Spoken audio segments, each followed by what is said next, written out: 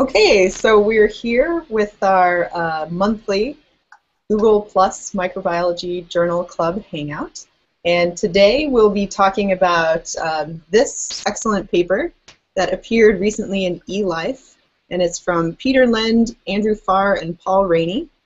And they will be uh, they're discussing this great experimental system with Pseudomonas fluorescens and they're looking at some really cool questions, some fundamentally important questions about um, evolutionary pathways and about parallel genetic evolution. And so I think this is this is something I'm interested in, and so I'm really excited to see this, and I'm excited to see uh, a paper that really I think they, I think they've done an excellent job kind of presenting the big points of their of their research in, a, in what I felt to be an accessible way. Hopefully you guys did too. Um, but we will go ahead and talk about that. And it looks like we might have gotten Brian, although I can't see him, but he's up there in a little panel spot. So maybe we'll maybe we'll hear from maybe we'll hear from him. Um, but to start with, we'll do introductions. My name is Laura Williams, and I need to put my little uh, where's my little toolbox? I gotta pop myself up there. So I am um, currently a uh, assistant professor at um, Providence College, which the reason I'm saying that slowly is because I'm typing it right now so that it'll pop up. there we go. That's me. Um, I'm uh, started as an assistant professor at Providence College on January 1st, so I'm staggering towards the end of my first semester, which might be why I look like drawn and haggard right now. Very tired. Don't but, fish um, for compliments. Sorry? Don't fish for compliments. no, I don't think there's any to be had at this stage. Um, uh, but I'm really glad that we're doing this. Um, we, are doing this in April because this is. I really look forward to the Journal Club, and so I'm excited about talking about this paper because we're thinking about uh, genome evolution in our lab here. So this is a good thing for us to be thinking about for the research we do here at PC. So then I'll turn it over to Mark because he's right next to me in the little panels down below. Sure. I, am Mark Martin, an associate professor, an old associate professor at the University of Puget Sound in, in lovely Tacoma, Washington. And I am really excited to be talking about this paper because I've used aspects of it in a teaching lab, and it's fabulous for instructors. It's absolutely a great, great system, and I particularly like the long period of time that Paul Rainey has spent investigating it over many years and really doing a great job with it. It's a wonderful exercise for students of all ages. Excellent. That's great. Yeah, I'm really looking forward to hearing because I have no direct experience with the system, so I'm really looking forward to hearing how you guys have, have what you've seen with it in your lab. Um, Karen, do you want to go next? Uh, sure. Um, my name is Karen. Um, I'm a wait. Does, is that working? Yes, because we I'm can actually hear you. not popping up. Okay, that's fine. Um, I'm a PhD student in uh, from in Vancouver um, from Simon Fraser University, and uh, I study a potential bioterrorist bacteria called Francisella tularensis. That I look at the different proteins that it uses to uh, infect people and to um, infect cells. And uh, but I also really enjoyed the paper, actually for um, the fact that it was really easy to read. Like, um, just my initial impression of it, I really enjoyed the smoothness of the reading. Like I didn't feel that it was choppy or um, disconjointed at all. So um, I'm also looking forward to discussing and listening to see what you, you guys have to say about it. It certainly wasn't a wrinkled paper. That's true. No, I agree with you. I think it was uh, wonderfully written, which is always such a joy to read a, a paper that has a compelling research question, but it's written in a way that you can you don't have to come into it already kind of guessing like what are the 18 things that they didn't say that I should know already? Um, so that's good. Um, it looks like we've got a fourth person, although we haven't heard from him yet, so I don't know if he's having technical difficulties. Brian, are you there? He's got a little spot down there at the bottom, but maybe we will um, feel free, Brian, if you can hear us, but you cannot be heard yourself, feel free to tweet at one of us, and we will try to help you fix that.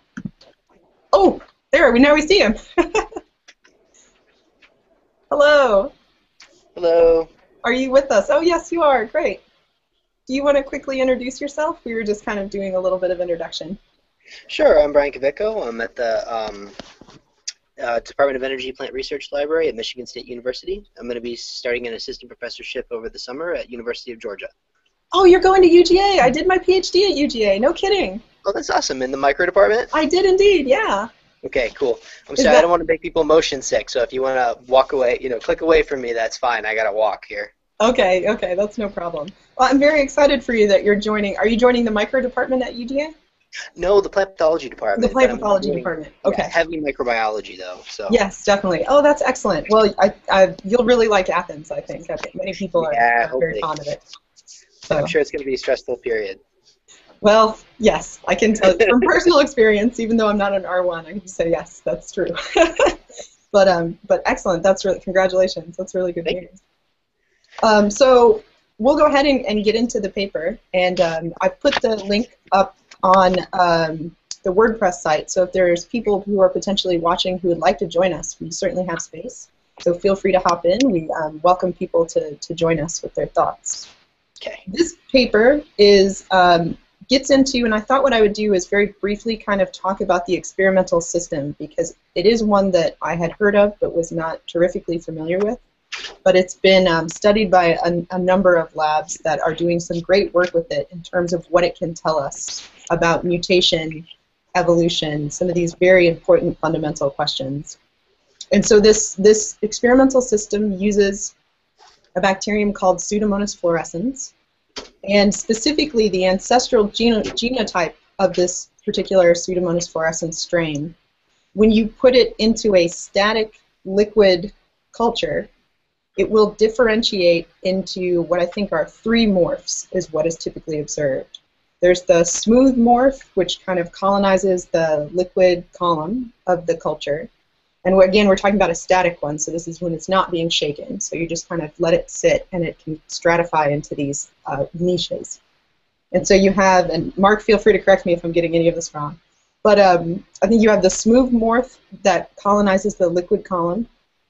You have, a, I think it's a fuzzy morph that will colonize at the bottom, which I don't really know anything about. And then the focus of this paper is something called the wrinkly spreader morph, which will colonize the air-liquid interface.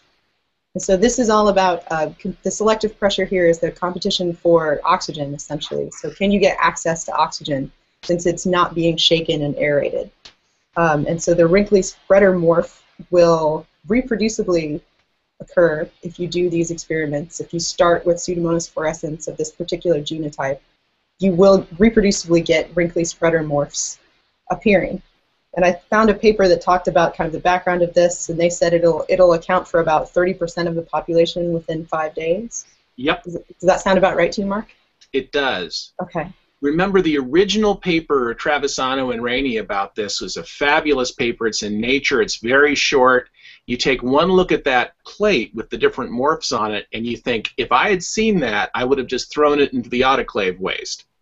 But the fact is, really is this adaptive radiation, and Paul Rainey's group has continued to work on it for many years and teased out all the details. It's a fabulous system. Excellent. Brian, do you have any experience with this system specifically? I, I, I don't necessarily know. Oh, you're muted. You need to unmute yourself. my office and waiting for 1970s fax machine, well, 1970s technology to give me a fax, tell me if it's sent or not. Um, I've worked with other fluorescent strains before, not SBW25.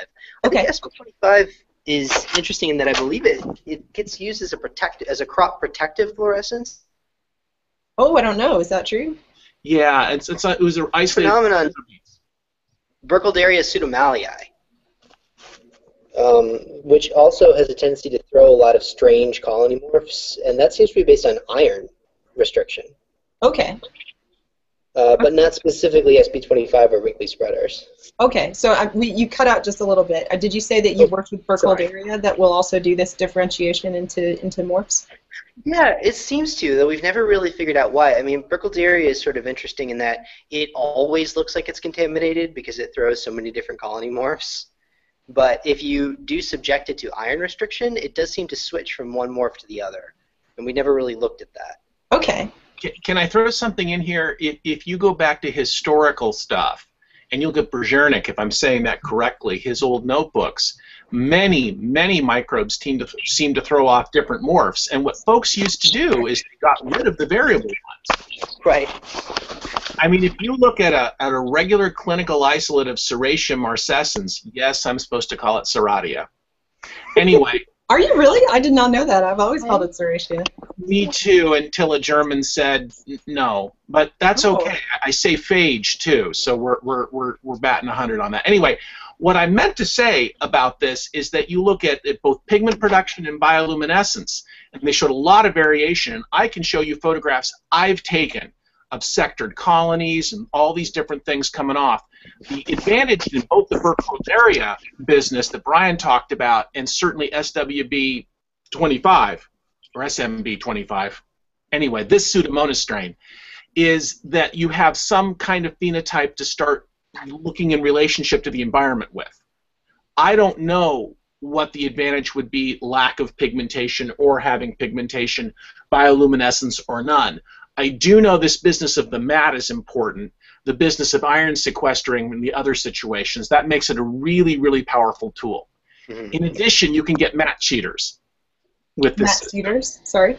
You will get mat cheaters. You'll get switches back that take advantage of the cellulose fibers and eventually sink it. And that's a fabulous thing to show students. Oh, interesting. Yeah, because I don't think this paper got into the, the, the, the cheater phenomenon. That's really interesting. Yeah.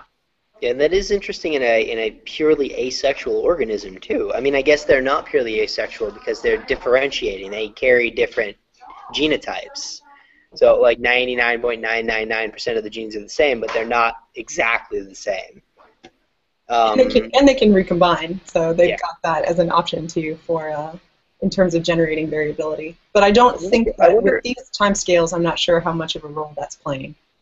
I wonder how common in the case of the of the WS phenotype, it's obviously based on modifying uh, sort of the secondary signaling pathways. So you you get the phenotype you want, but you pick up a lot of other phenotypes at the same time. Since there are so many different ways to create these sort of on-off lifestyle choices, you you see the for instance, why does the colony perform a wrinkly spreader on a plate? Uh, that has nothing to do specifically with its lifestyle choice. It's it's a consequence of this particular selective pressure.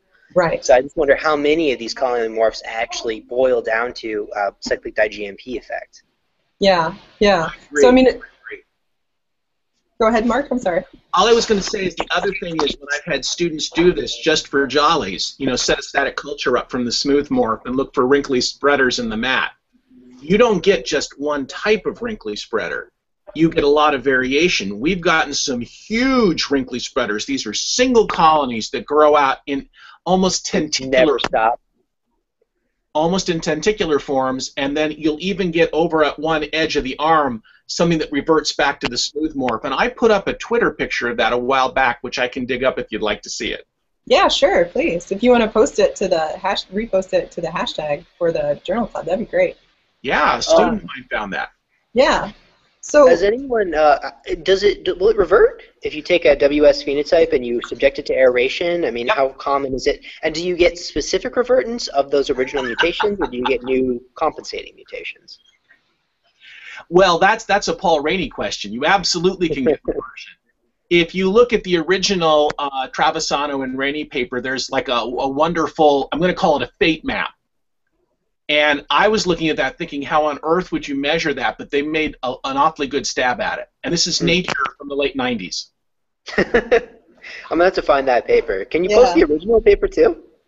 Just for fun, you said it's short. I should take a look at it. Oh, yeah. yeah, we'll um we'll add that to the the Travisano and, and Rainey paper. We'll add that to the website as a background thing. I'll make make a little note to do that for sure. Um, yeah, so so we've kind of touched on a little bit of the really amazing aspects of this system for answering some of these evolutionary questions. And what I thought I would do to kind of um, launch us into the big ideas of this is they did such a fabulous job walking through what are the major theoretical ideas that they're addressing, which I do think is sometimes one of the harder things to get across in a, in a manuscript, in a paper. And they've just done that, I think, wonderfully. So I'm not, I'm going to read from them because I don't think I could do hardly as well to try to uh, paraphrase it. But so there's so they're talking about explanations for parallel evolution and trying to kind of understand the various underlying rules. And so they give these scenarios, which I think sets up really well why they've chosen this system. So they're saying, you know, if you think about it, if evolution proceeds via a single route because there is no other, then there is no reason to suppose that evolution is anything other than idiosyncratic. So they've kind of, here's one thing where you get evolution proceeding along one route. It is the only route available, so okay, that's explained. So then they say, should evolution proceed along a single pathway when multiple are available, and yet the fitness of the phenotype from the common path is superior, then there is no dilemma to solve. I've left out some of their nice language about the pleasure of discovery, but um, so that also like that logically makes sense as well. So if you have a single pathway and there's a there's a significant fitness advantage, also that's somewhat easily explained. But what they're seeking to address is to say if evolution proceeds along a single pathway and yet that pathway is just one of a number of possible routes to a range of phenotypes with equivalent fitness, so they're kind of setting up the parameters for, for the theoretical idea they're addressing, then determining the underlying causes becomes a matter of interest. So I like that they've, I mean, in one paragraph, they've done such a great job of saying, here is this major question that we want to address, which is parallel evolution. You know, you can get, there, there may be multiple pathways to a particular phenotype. Why are some favored above others? So their aim here is to kind of start to understand some of the constraints. Um, with the wrinkly spreader Pseudomonas fluorescens system, the work that's been done previously has shown that there were three major mutational pathways that are used um, reproducibly to get to a wrinkly spreader morph. So when other people have done these experiments with these static cultures, they found that there were kind of three pathways, all of which, as Brian has pointed out, deal with um, cyclic diGMP um, and signaling, with the eventual purpose or the, the eventual outcome, purpose is the wrong word, the eventual outcome of having um, overproduction of cellulose. Um, so but what they wanted to know is, well, how do we know that these three are the only pathways available? So what if there are other pathways because there's something like 39 of these, um, I think they've mentioned that somewhere. There's a great figure that kind of walks, figure two kind of walks through the mechanism behind getting to a wrinkly spreader morph and they mentioned that there are um, these diguanylate cyclase genes. And I think there are 39 of them in total. And the three mutational pathways that have previously been identified uh, uh, deal with three of them. And so they're like, but there's 36 more. So maybe those pathways involving those other 36 could lead to a wrinkly spreader morph. Let's find it, that out, and let's figure out what are the constraints that previous experiments are limiting us to these, these three pathways. Um, this is a, such a great question to address because I know that when I'm looking at when the, in my postdoc when I did bacterial genome evolution of endosymbionts, I mean I just had a paper come out in PeerJ where it's all about parallel evolution. So you're finding losses of similar genes, you're finding you know in divergent species. So parallel evolution is something that is under a lot of, of bacteria are, are undergoing this, and so this is a great way to start to figure out what's going on and what are the actual mechanistic processes underlying this. That was a lot of me talking about how excited I am about this paper. Um, so maybe what we'll start with is kind of thinking a little bit about what what they were, how they went about trying to figure out what other three pathways are available. Um, so I might put Karen on the spot. can I put Karen on the spot? Yes, you can. Um, so do you want to just just mention really briefly like what their strategy was for trying to figure out what alternative pathways were available? Well, I will try to explain it in the best way that I possibly can because um, I actually have questions about this as well. Oh, well, then So that's perfect. as- So we'll talk about it then.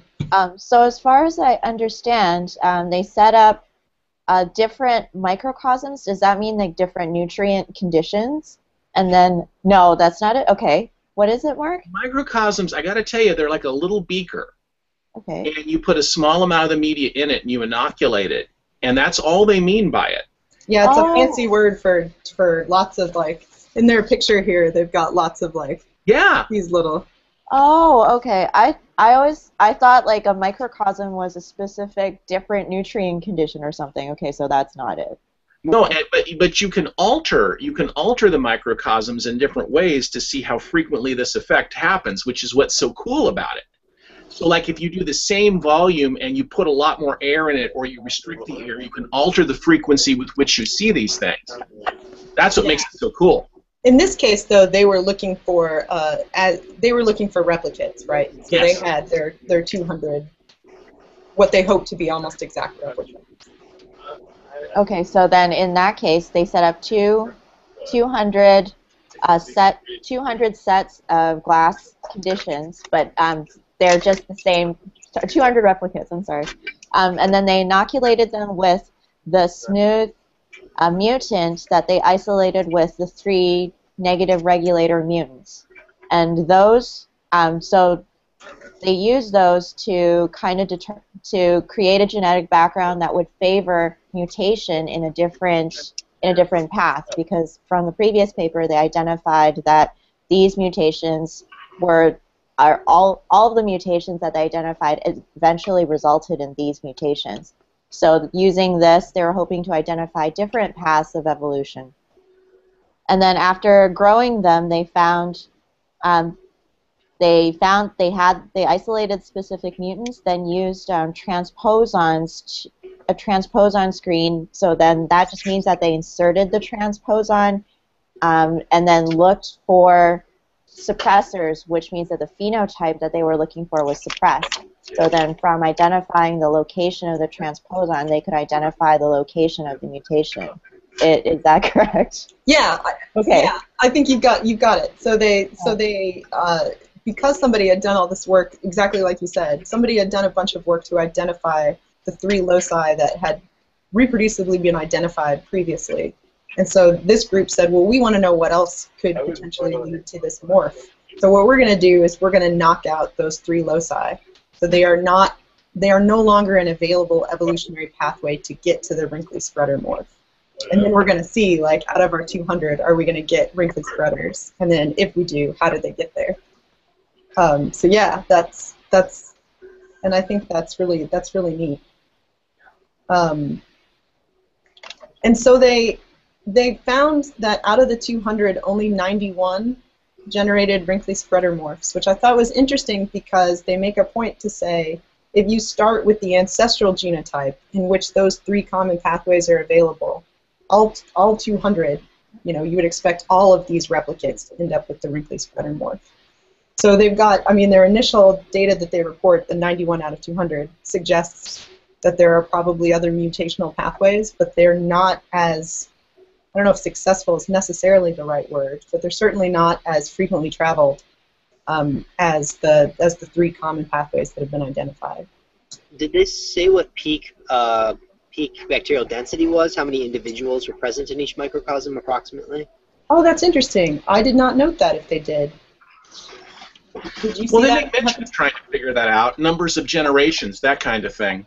Sure. Okay. Um, I don't. I don't actually know uh, how easy it is to measure growth rate in a static Hmm. culture. Right. Yeah. do that in, in things that are actively mixing. So as I recall what they do, and I can't pull the data out in my head, but as I recall, they figure out the input cells and then measure the output cells, and then determine a number of generations that be part of that. Just okay. based on just dilution culture. We, we Yes. started with this many, we ended with this many. Yeah. And ignoring death and everything else.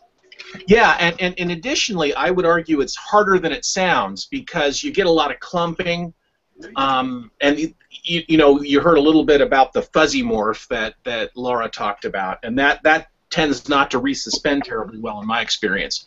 And by the way, if anyone who works with this system is hearing me, I am by no means an expert. I'm just a dabbler, but I've worked with students. Vaughn, if you're hearing this, thank you so much for the strains.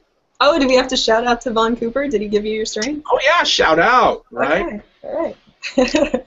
That and done. Micro, right there it is. there you go. Um, he just announced on Twitter that he's moving, so I said, know. That would be cool. And you know, if you look at his, and I believe it's called evolvingstem.org, that's the website that he came up with trying to get this system into high schools. And it's This a very like a perfect system for teaching. yes, Yeah, absolutely. yeah. also, it's, it's not perfect. I have to throw in because you know, a- a- if you read how he does it, he uses these little these little plastic beads to select for things that form biofilms, for example. and and they're hard to get, as as I discovered. And if students aren't used to working with microbes, it's a challenge. So I think what he does is he sends people into the schools. But any of us could develop this. And I know I've tried a few things with with my classes. And I'm going to continue to do so. Oh, that's excellent. So we should we should we'll we'll add that to the website and uh you know so it's evolvingstem.org. I believe so. I'll, I'll check on that in a second. And Laura, I just sent you images and two links to papers. Ah, fantastic. Thank you. So check the website if you're watching this because we're going to be adding some things to it. I will go and t- make sure it's evolving STEM right now. Okay. Well, that's great. Yeah. Um, so the the kind of the outcome of this is that they've got 91 of their 200 replicates that uh, developed a evolved a wrinkly spreader morph. So And that's. Go sorry. ahead, Karen. I was just going to say that 91 out of 200 is actually quite a bit. Like to, that's almost 50% of regenerating the, the phenotype. Yeah, yeah. So they, I mean, there's, they're, they're. I wonder what they expected. I wonder if they had an expectation going into it. Um, and well, well, keep keep in mind, Laura. What I was going to say is, what they're looking for overproduction of, of cellulose. right. Okay, acetylated glucose. There, there, there, there's lots of different ways to skin a cat. Lots of different ways to make a polymer. Sure. So you know they're wondering if there are other ways, and, and all those cryptic genes that is regulators that could be good for that is a fascinating subject, and that's why I posted the very controversial Barry Hall um, review on evolved beta galactosidase. Turns out there are many cryptic genes by a few mutations can kind of replace one that's missing. So I'm sure they expected to see this, and I, I'm really pleased to see um, how quickly it kind of um, had a workaround genetically. Hmm. That shows how strong that selection is. Well, and that's one of the things that I thought was so neat about this is that um, it's a really good reminder to, and I think this is a this is potentially something that's tough to get across to students. The idea that that mutations are arising in these populations all the time, and then there's then there's the selective pressure that um, either fixes a mutation in a population or the mutation is lost because it, it the selective coefficient is is you know does not give it an advantage. Um, and I think it's good to always be able to have some things to point to so that people can have an illustration of the fact that, you know, yep, in a population, especially if you've got 10 to the 9th, 10 to the 10th cells, you're going to get these mutations arising and there's selection, you know, in this case, for the wrinkly spreader, it's the depletion of oxygen, is imposing a condition that's going to then kind of change the frequency of these, of these mutations in the population. Um, so they, they start to then tease out the different types of mutations that are in these 91.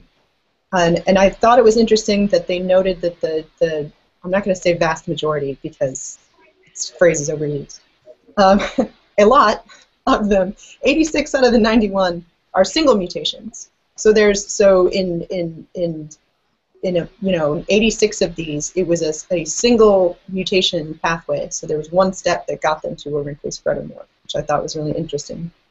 And then they had a, the the leftovers, the five other ones had either double or, or one triple mutation. So what I couldn't tell from the I don't want to skip too far ahead, but what I couldn't quite tell with the double and triple mutations was did they were they able to determine the sequence of mutations?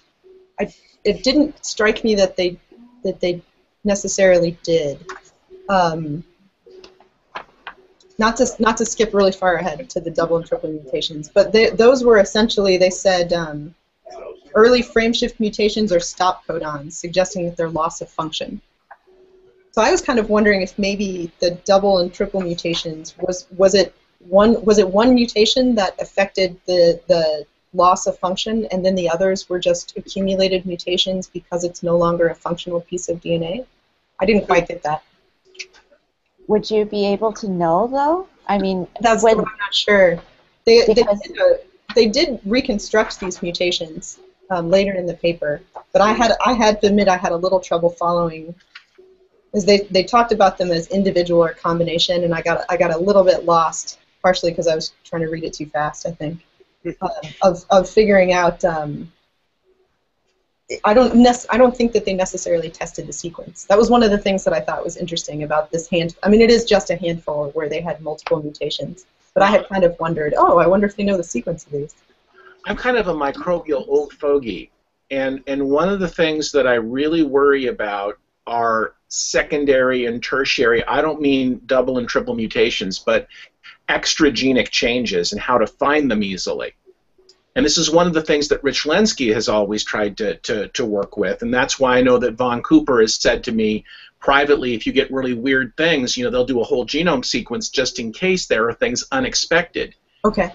One of the problems with dealing with a pathway you think you're sure of is, and, and this is where I guess I'm a vitalist, nature is more clever than we are. And, and, and, and I've over and over again seen people kind of second guess bacterial philosophy, as it were and you just can't do it. I mean, think about the selection here. This is fascinating stuff, and you're asking it to do something and looking at the end product. Mm. Um, so, I mean, I think whole whole genome sequencing will answer that question if there are other unusual things taking place. Mm-hmm. Wouldn't be at all surprised. I mean, how many different um, I can never say it correctly. The guanylate cyclase analogs. How many different uh, homologs of them exist? I mean, there's like dozens and dozens, and if they can and, and a, a significant number can be recruited. And that's just based on what you think might happen. Yeah. Right? And I think did they they did make some mention of gain of function mutations, which they did not. I mean, they they their argument, understandably, is that your loss of function mutations are going to be more frequent than your gain of function. Sure. Sure. Um, but your point your point remains that if you because they did this over six days, um, but if you did this for longer, you Oh, yeah. right like could would you end up with a outside of the 39 that are identified? Would you end up with something that is homologous yeah. that would eventually be able to play some kind of a role? And I would also argue that, you know, I would be very interested to look at the mats rather Mhm. than plate things out and look for morphology mutants. They're doing it because they can. That's why they're doing it, and it's a good system. But I wonder about the relationship between the two. We may actually be finding different things that way. Oh, I And I- see. yeah.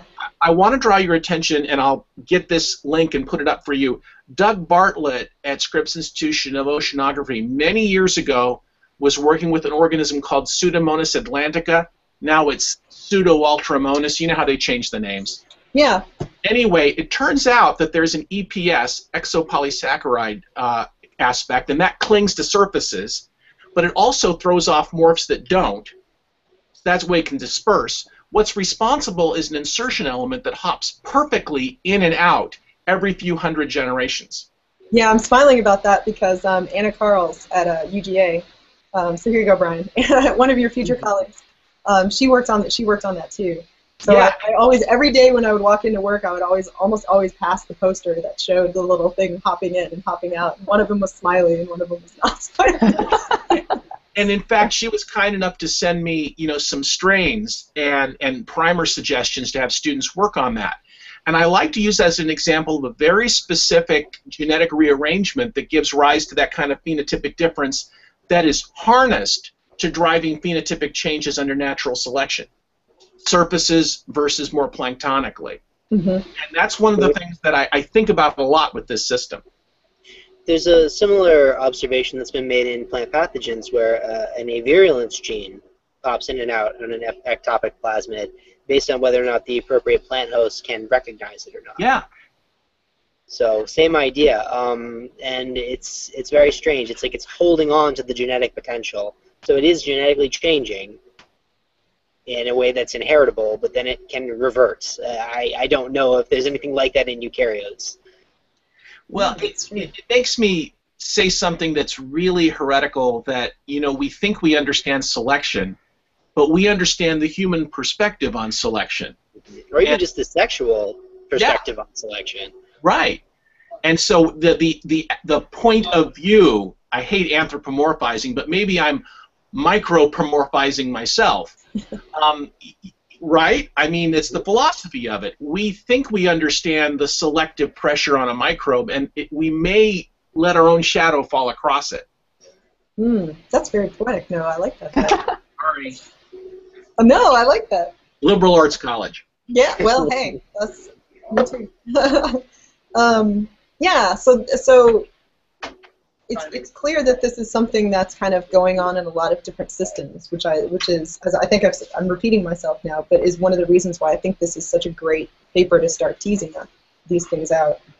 Um, I did I, I skipped ahead a little bit by mentioning the multiple mutations, but I did want to say that they start to kind of uh, break down what the different categories are. So I'll just this is the poor man's like screenshot. Um, so they've got kind of different categories where they're looking at. So these three genes here are the pathways that they had previously identified. And then what they're doing is they're kind of now looking at what else did they find. Um, and mine's not in color, unfortunately. But I thought, as I circled, I thought this one was really interesting. So of, of the mutations that they found, this was the one that had the most frequent. And it was um. So it's this energenic, um, what they think to be a negative negative regulator. Um, so I, am guessing that one of the outcomes of this paper is that they're going to focus strongly on that particular gene. Uh, because from what I can tell, since it doesn't have, it's just got a locus tag, it looks like perhaps it's not annotated yet with a, with a known function. Um, so I would say that that would be an outcome of this is that there's someone currently working hard on, on that gene in particular, trying to figure out what it does. And, and um, Ooh, studying an unknown gene, gene of unknown function. Do we do that? Do what? Do we study genes of unknown function? I, I wish we did we more of it. I mean, I, I that that that question right there is one that I because I as I've mentioned I've worked on um, bacterial endosymbionts which have which have extraordinarily reduced genomes. I mean, these are these are you know, smaller than the size of a large plasmid in some other things, like 700 kilobases, and you'll still get genes that have come up with an annotation of like hypothetical protein, no known function. Yeah. You're like, well, it's got to be doing something because there's no oh. way that these endosymbionts would have kept it for this long while they're jettisoning other things if it didn't do anything. So, um, if one of the outcomes of this is that we start to kind of annotate more genes, that would be great. Yeah, seriously, no, you're absolutely right. And I was teasing mostly. It oh, seems yeah. like there's definitely a tendency to go with, well, this looks like a protease, so we'll study that. Yeah, yeah, no, I totally agree with you. That was the, the, the vehemence of my response is because I'm absolutely on board with that idea. Mm. Is that we there's a lot out there that we still don't know what it's doing, which is and it could hold like in this case, it could end up being um, a significant player, at least to understand these kinds of constraints on the wrinkly spreader more. Um, well, I was Karen, go ahead. Oh, sorry. I was just going to make a comment about how I think that this is a great way of studying uh, genes of unknown function, just like the two of you were saying, because if you have a gene of unknown function then, and you have no idea how it's controlled or what sorts of proteins it interacts with, just by looking at the suppressor mutations, you would be able to identify uh, multiple facets of the things that are interacting with this gene.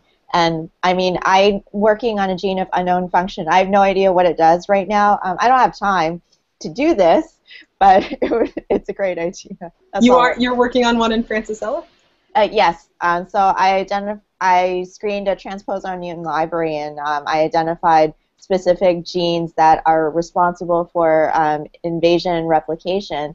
And mm. in and when I infect these mutants into mice, um, there's no disease, but the like I've characterize it to the point where it's like, okay, it's involved in virulence, but that's all I know. I don't actually know what it specifically does. So I'd love to know what it specifically does, and maybe I could do that with the system, but unfortunately, I'm out of time. So. Yeah, you got to defend in December, right? Yes, I do. There's no time for that. yeah, that's cool. Very cool. So it's gene of partially known function.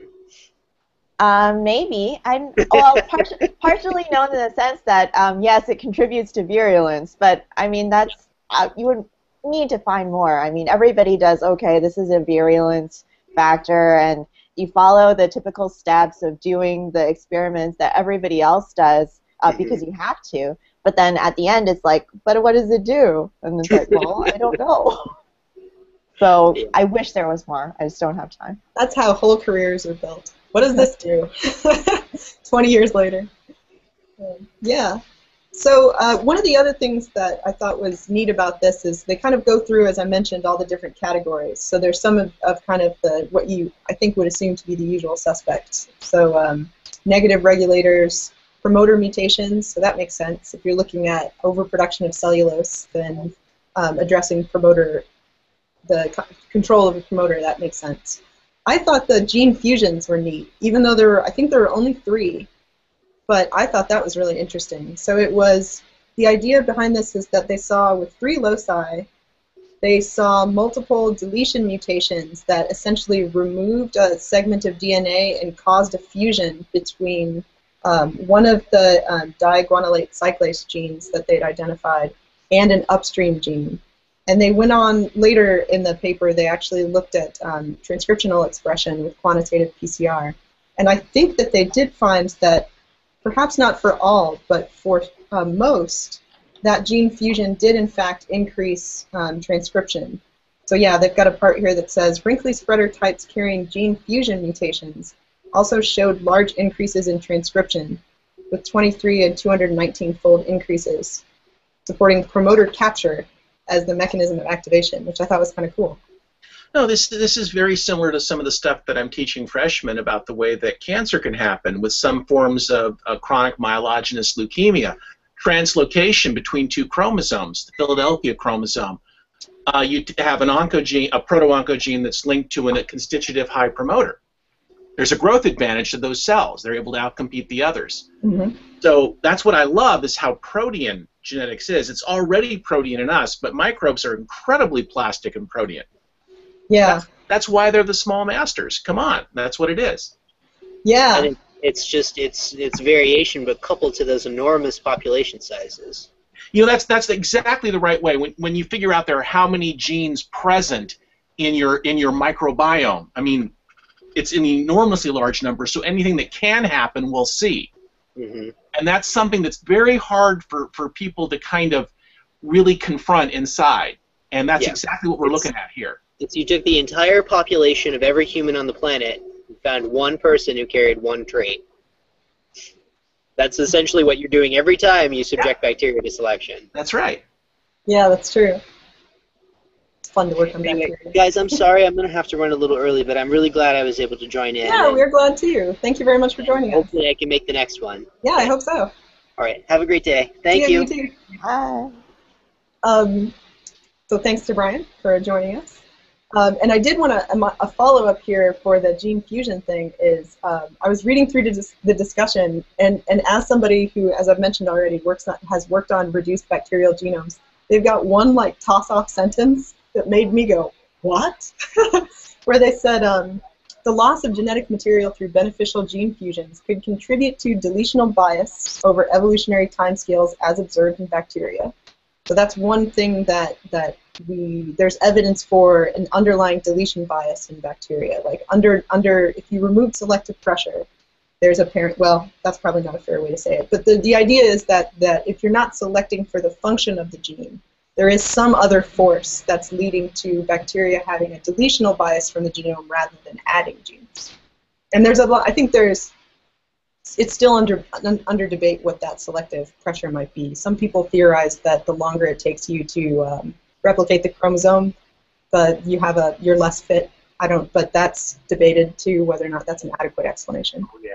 Um, but so they toss that out. They say, you know, the loss of genetic material through beneficial gene fusions could contribute to deletional bias over evolutionary timescales as observed in bacteria, and presents a selectionist alternative to reductive evolution by genetic drift, or loss of biosynthetically expensive genes, which is precisely what you see in endosymbionts with their reduced genomes. But most people, I, I believe, as I understand it, most people think of that as being an effective like Muller's ratchet, mm-hmm. where um, where you have the effect where you the, the the reduced genome is by and large thought to be the, uh, the result and the outcome of genetic drift. So they're suggesting like, well, maybe some of these gene fusions, maybe there's a selectionist interpretation or a selectionist alternative theory to why you would have loss of DNA from these genomes, because then you, that is a way to do promoter capture and increase expression of a downstream gene. It's like, oh, interesting. So I mean, it was one sentence, but it caught me because that's something I've worked on before. Is the idea of why do you get these reduced these reduced genomes? So very interesting. Um, yeah. So I am kind of curious about what you guys thought in terms of the discussion. They they are setting up kind of the, the the ultimate outcome here is what they're attempting to do is, is come up with a with a, a set of, of rules or a set of first principles given given certain constraints. So this is not this is applicable if you can meet certain parameters in your system. And then they're saying, okay, we want some of these rules to try to understand how um, evolution might occur. Um, and you can understand why this might be helpful because it, they, um, at least I think in the in the digests that eLife puts together, they kind of talk about evolutionary forecasting. So if you want to think about predicting the rise or the um, establishment of antibiotic resistance in a certain population, this could be a really helpful thing to think about. Um, and I just wasn't sure if you guys had any thoughts about. They really go big with their with their discussion, so it's kind of hard to figure out where to kind of come in at it. But I don't know. Did, was there anything in particular that struck you as you were reading the discussion? How, how much I wish Rich Lenski would would kind of chime in on these thoughts, because this is exactly kind of the things he's been looking at in other systems. Mm. And and again, you know, all props to Paul Rainey, who I have the greatest respect for. Um, but Rich Lenski has done a lot more thinking than I'll ever do about this. Um, it's interesting to think about the the plasticity of genomes and the availability of, and that's why I brought up evolved beta galactosidase. I mean, when you delete LAC-Z completely, uh, leave permease intact, so some gets in, some gets into the cell, you'll find there are other glyco- uh, glycosidic enzymes that, with a couple of mutations, can then break down lactose. Then selection acts on those if that's the only selective agent. Um, I'm really interested in how often you get these things happening in the absence of selection. Mm-hmm. What it looks like from this paper is there are a broad variety of ways in which you can get to the um, most important phenotypic change, which is the production of all of the cellulose so that you make the mat. Mm. Um, and and I, I, I still maintain, and again, all due respect to the very serious scientists who work on this, there may be other changes taking place. You know, until you take a mutation and you use, say, a phage to do a direct replacement, I always worry about secondary mutations. I also worry about the fact that every single time we do anything with these microbes, we're Darwinoing them to life under those conditions. I mean, the hand of Darwin is on every experiment we do. And it's easy to forget that. I, I know in grad school we were in a hurry to do a bunch of experiments, and I had a friend who was always would pick colonies as soon as he saw them from transformations, and he would use them for other transformations. And pretty soon he got an E. coli that had a whole bunch of colanic acid being produced.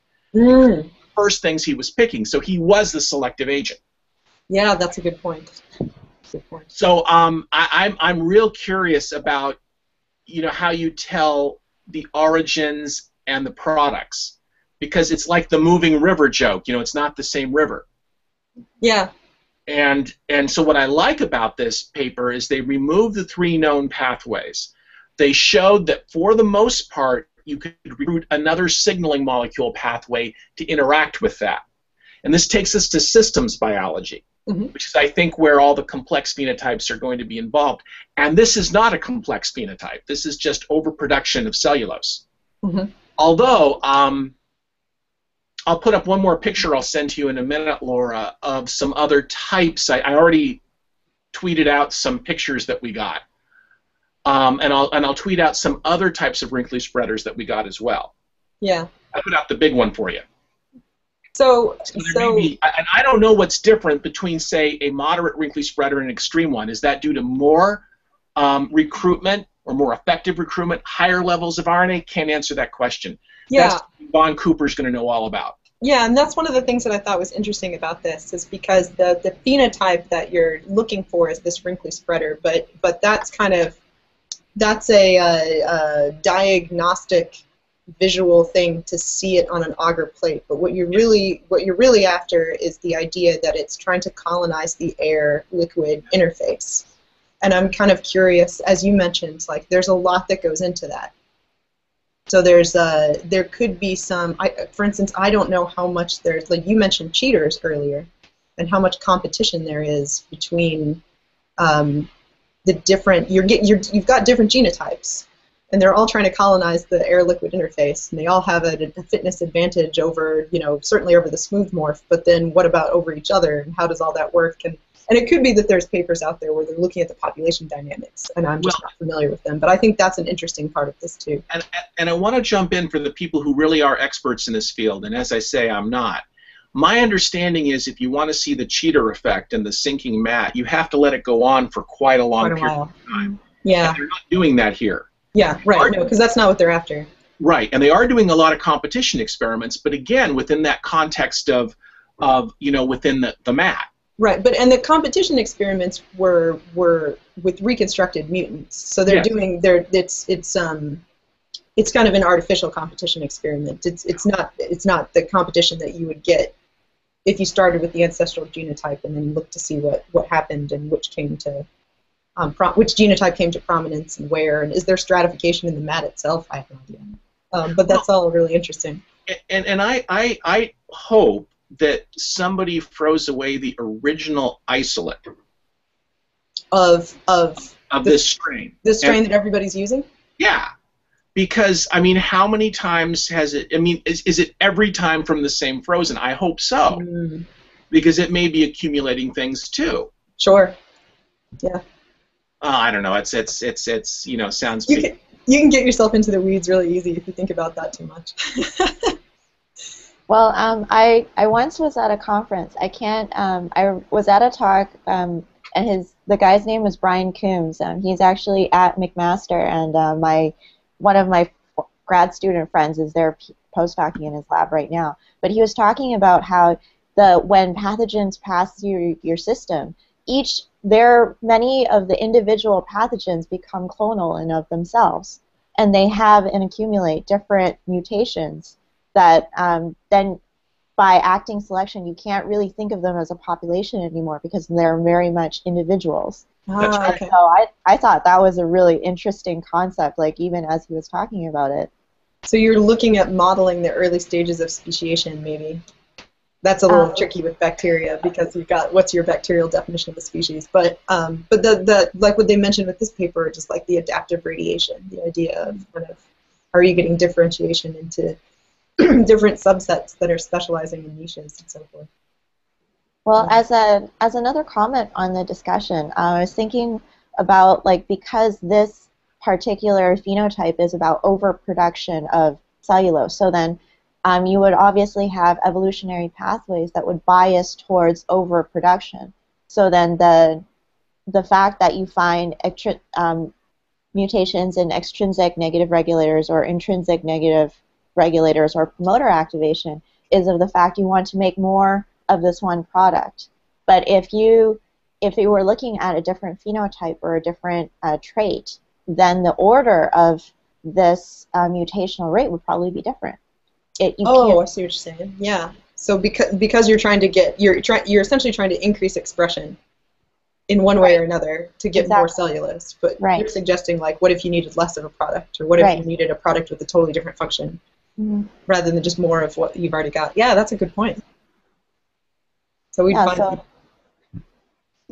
yeah, ask these questions of a different system to get. That's a really good point. Yeah.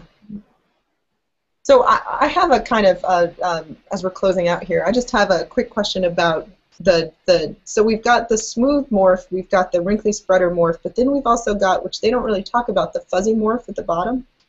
So what is it if everybody starts from the same ancestral genotype, but you get fuzzy and you get wrinkly? Like what is the what is the fork? What is the evolutionary trajectory that leads the ancestral genotypes going one way or the other? Do you do you know, Mark? I don't know. I do not. Um, it's it's if you go back to the original paper, they have a fate map that's worth your time. Oh, yeah, you mentioned that. I should look at that. And I sent you a link to it. I, I can email you the actual PDF if you'd rather. Sure. And, and, I, and I, I would like I, I would like I don't know how often people look at this, but this is such a fabulous system for students. Yeah, it sounds like love- it. I would love. I mean, I would normally say let's all get together and come up with some you know things to do, but kind of Vaughn did that. Yeah. Vaughn, You, you, you kind of did that, and, and I have my own spin on things, but I don't want to take away anyone's thunder. But we should all try and put our own stamp on this and see what we can come up with because I think it's a great thing to teach them.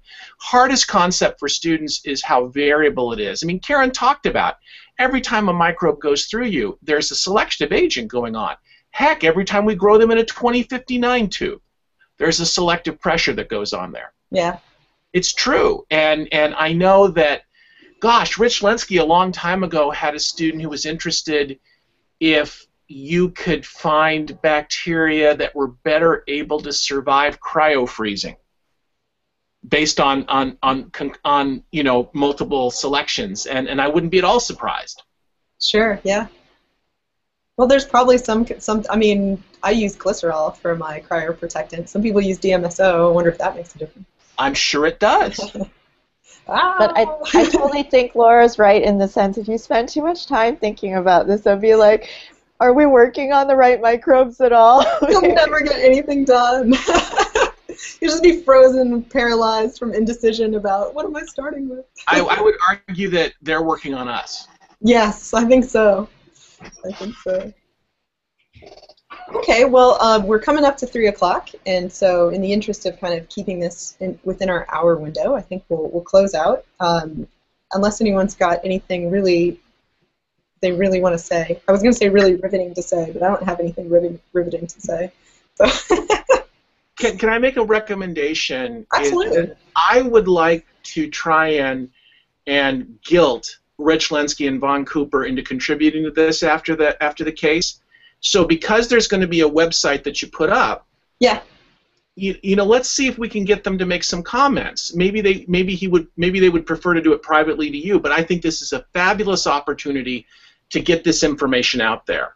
That what Yeah. a fun system, what a good system to look at for scientists, but also for students. Sure, definitely. Um, well, certainly. Um, I, I mean, I, we've got Vaughn up here on Twitter who says, uh, you know, he's got uh, he's favorited your evolvingstem.org, so we've got confirmation from Vaughn that that's the right thing.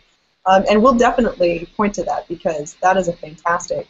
That's fantastic that it's making its way into high school biology. Oh, yeah. Earlier you start get these concepts across, that's just fantastic um, and very, very needed. Um, so that's great. Yeah, I will. Um, I will be updating the page on our uh, website for the Journal Club generally. I'll update the page with some of the things that Mark has I've seen posted to Twitter, and um, I'll um, maybe we'll ping um, Vaughn and Rich on Twitter and see if they if they have an opportunity um, to, to watch it and kind of offer some some perspective. That would be fantastic. Oh yeah. I, I don't want to misrepresent anything here, so I want you know the the experts to really chime in. And let me take this opportunity, and I'm very sorry that I'm only doing this at the end. I should have thought of this so much sooner. It's the, it's the end of the semester fog that I'm in.